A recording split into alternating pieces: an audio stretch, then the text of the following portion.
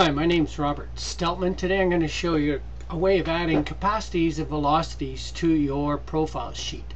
I've added to my pipes properties three additional user-defined properties, full velocity, design velocity, and capacity flows.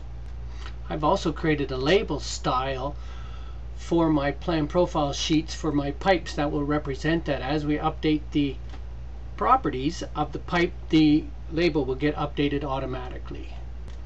Using the Steltman software pipe tools, we're going to go pipes to Excel. We're going to select our typical example or, or typical storm design sheet. We're going to export. Here's our sheet with the uh, capacities and the velocities. And here's our mapping program. We're going to tell it to use the number of, um, actually on our pipes, we're going to tell it to use the flow rate from the sheet, the capacity, and the design velocity. We are going to add a third one for the full velocity. We go next, we select our pipes, and we go export. This creates our design sheet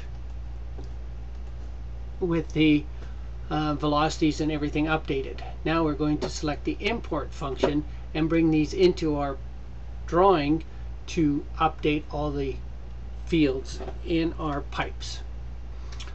So the pipe properties have been updated and also the labels have been updated. So every time your sheet has been modified, uh, everything will be updated as long as you keep it in sync.